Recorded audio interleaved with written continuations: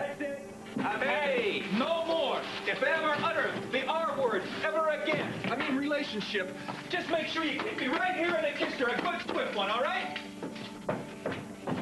So how is Portugal?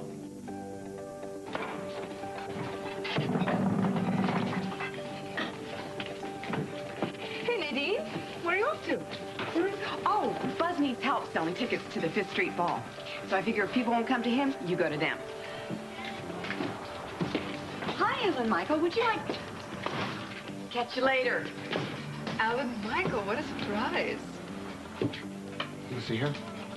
You seem to be losing track of her a lot lately. Yeah. What's wrong? No, nothing. No.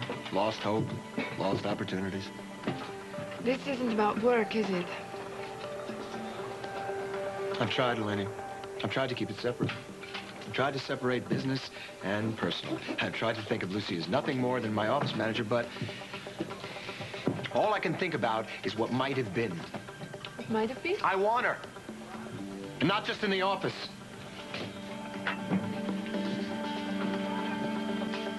Ugh, I look like I'm five. Nothing's right. Well, maybe if you knew what you were doing tonight, it might help. You know, I mean, dinner and dancing or popcorn and a movie. That's just it. It doesn't really matter because I know that whatever we do is going to be wonderful and romantic. Oh, that's good.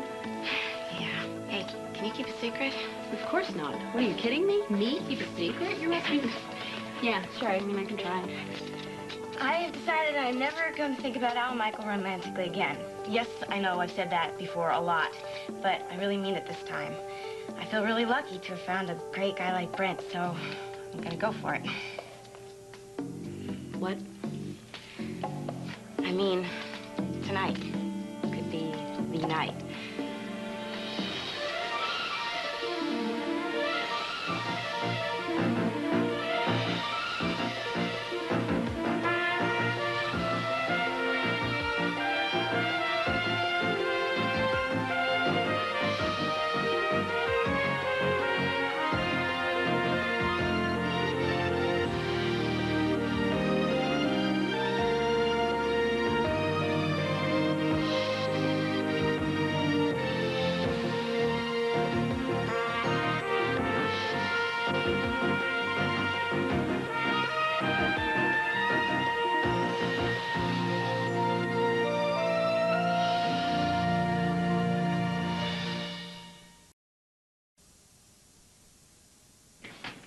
You tell me you were coming back tonight? I would have picked you up. I was in no mood to be human. So it didn't go that well, huh? It went really rotten. Like a wicked grandmother, she still doesn't want to give up. She's the one's been like. Get this. I fly to Portugal. I rent a car. I go out to the country, that address you found here in the briefcase, right? Right. They tell me she's gone to Monte Carlo. So I go to Monte Carlo. I search around a little bit. I wait. No, no Julia. So what do I do? I fly back to Portugal. I drive out to the country. I find out she's gone to London instead. So I drive back to Portugal. I fly to London. I wait. I search around. No Julia. I fly back to Portugal. I drive back out to the country. They tell me, forget about it. She's gone to New York. So I fly to New York. I rent a cab. I go to Park Avenue. You know how much this is all costing me? well, at least she knows that you're concerned. So, they tell me she's gone out to the country, so I gotta rent a car. I drive out to the country. I see Julia. She's happy to see me. She's confused. Why am I there? She hasn't been in Europe. She doesn't know anything about anybody named Fitzpatrick. She never authorized anybody to come around and talk to us about Ben's welfare. She has no plans for a custody battle, let alone sending him to military school. So what does that mean? Where's Ben? Well, he's at the movies with Justin. You sure he's okay? Well, I should be sure. I mean, the guy... I, I brought him there myself. He's there with Justin's father. Look what... Fletch. What the hell is going on here, man? Simple. This whole thing was a con. Julia Stoddard never had a thing to do with this. Wait a minute. I'm sorry. I still don't understand. It was Roger Thorpe. He wanted me out of the way, and he knew just how to do it. Are you serious? Yes. Holly mentioned that to me the other day. I thought she was crazy. Well, Holly is crazy. At least as far as Roger Thorpe is concerned, but let's not forget she's also the world's leading authority on him. Wait a minute. How did Roger know that I was going to see Julia's address in that briefcase?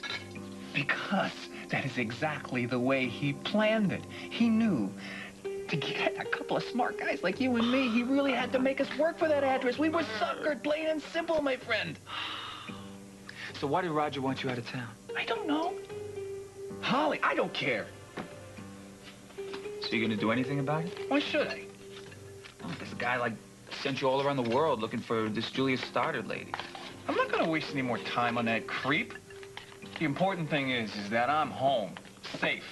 And more important, my son Ben is here, safe. So does that mean that you're not going to have anything to do with Holly anymore? What it means is I'm no longer going to stoop to playing their crazy games. Hmm. Look, I've never been a great fan of Holly's, and you know that. But this is not her fault. I mean, all of this obviously has to do with Roger, and that's all. Forget about it. A plague on both their houses. I am through with Holly. No, let's up the ante. I am through with women. Every single last one of them. Oh, yeah, right.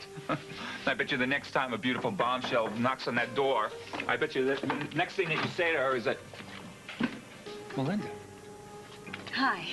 Are you, uh, busy? Uh, no, I'm not. Good. I think we need to talk.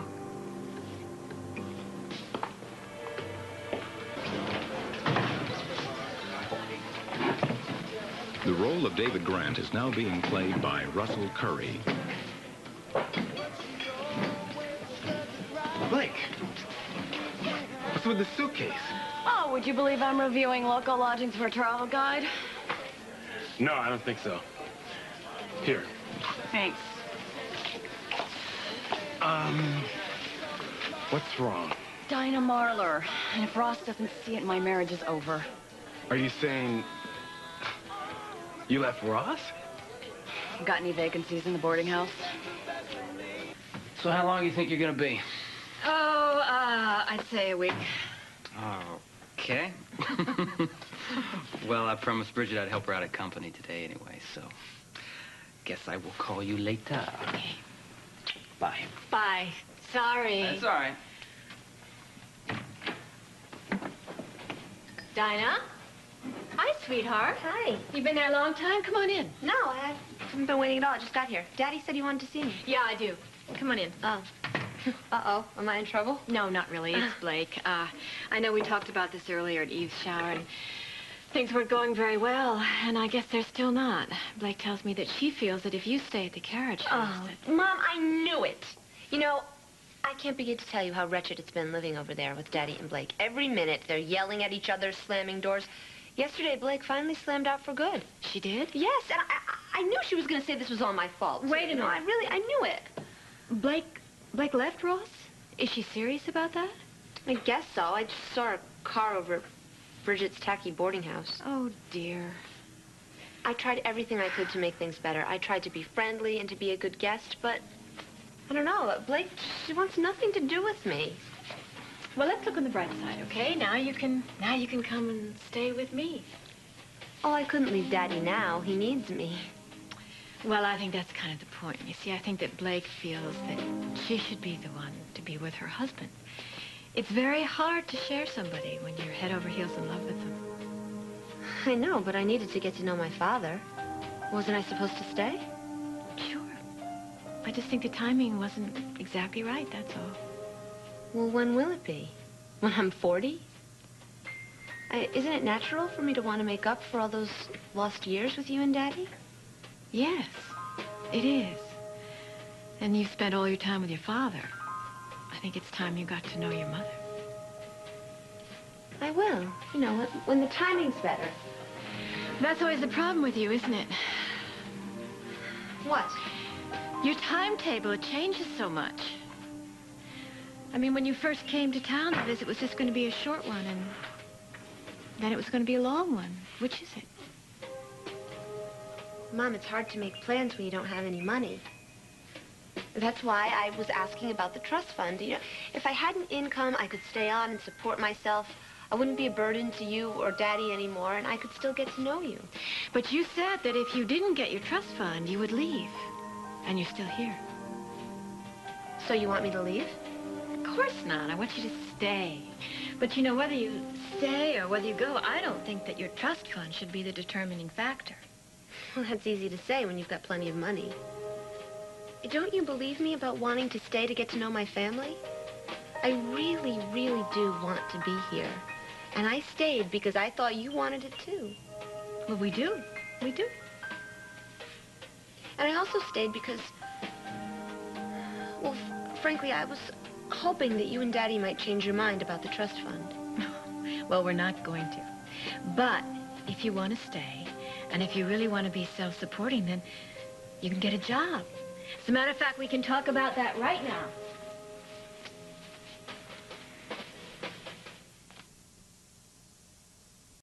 It has the medicine doctors recommend most to stop the itch and help heal the rash.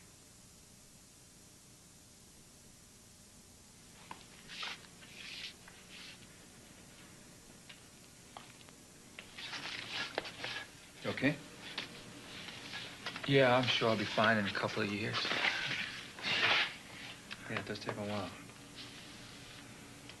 So tell me something, buddy. What's the secret in getting over them, huh? Women? Yeah. Especially the ones with big blue eyes. Big brown eyes, too. Doesn't matter, all of them. You just block them out. It's not easy, but you just have to do it. You just have to close that door on them. Don't think about them. Yeah, and how do you do that? Well, you keep very, very busy. You fill every single square inch of your life with something. Work, whatever. Sports, watching them, playing them, talking about them, whatever. Obsessing about food, you know, like cold beer and Chinese food, cold beer and pizza, cold beer and vanilla ice cream, whatever. The point is you just keep at it until you no longer notice that they're not around. Sounds good, man. I'll try it. I'm not so sure about the cold beer and the ice cream. but it's not- Try it. You might like it. it works for you, it'll give me some hope. I got it. Thanks. Uh, Dad, it's Holly.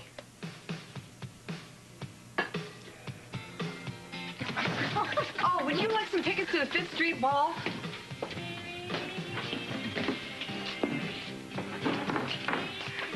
So, how many tickets did you sell? I don't know what it is, Eleni. Me or the price or, or the day of the week, but I didn't have one taker. Oh. Maybe you'll do better tomorrow. Yeah. What was Alan Michael doing here earlier? Did he want something? Lucy. But I told him it was probably too late. Oh. We're rich. What do you want? A sports car, house, big house, anything, anything you want. Anything? Well, for me, you don't need tickets. Well, um, how about, uh, that TV over there? You want that TV? All right. Sir, how many tickets for that TV? This TV right here, only 30,000. 30,000. Maybe the bear. okay, which bear? Wait, wait, that's what I want. That, over there.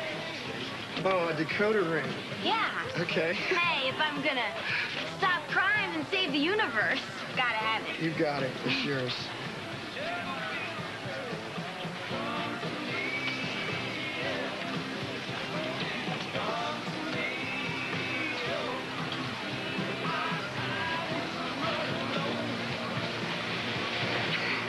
Let's go to my place. Okay. Okay. Give me these. Sir, thank you. Bridget, have you seen Lucy? Um, you know, you just missed her. She just went out on her date with Brent.